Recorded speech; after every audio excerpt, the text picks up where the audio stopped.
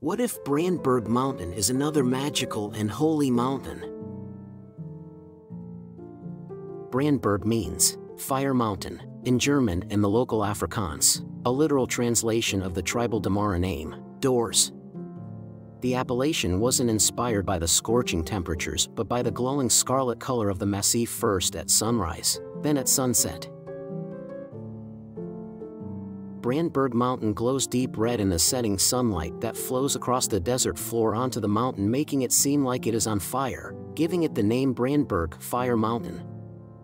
It is a large granite massif that dominates the otherwise flat area rising to 2,573 meters, making it Namibia's highest peak. The Brandberg Mountain, located in Namibia, is a significant landmark with a rich cultural and spiritual history. It is home to various legends, stories, and folklore, particularly among the indigenous San, Bushmen, people, who have inhabited the region for thousands of years.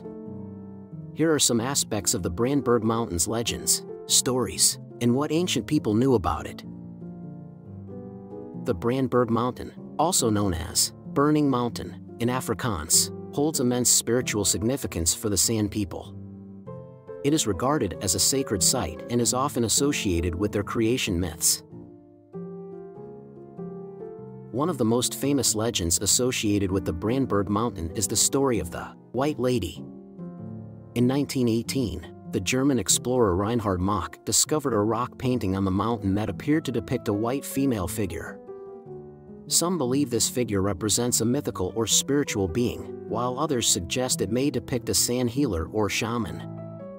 The interpretation of the White Lady remains a subject of debate among scholars. The Brandberg is known for its extensive collection of rock art, with thousands of paintings and engravings created by the San people over thousands of years. These artworks often depict scenes from their daily lives, animals, and spiritual figures, providing valuable insights into the ancient cultures and beliefs of the San. The San people believed that the Brandberg Mountain was a place of spiritual power.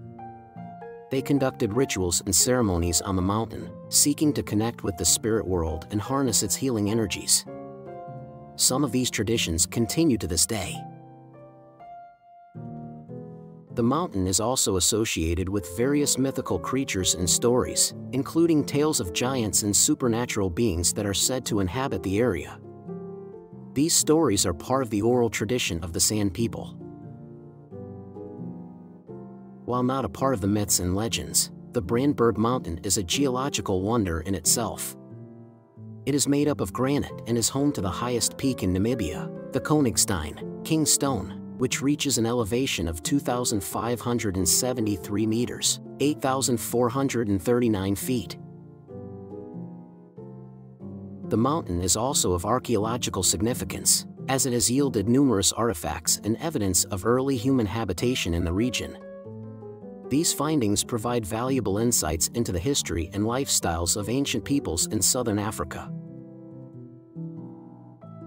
What if visiting this mountain could bring you closer to truths untold?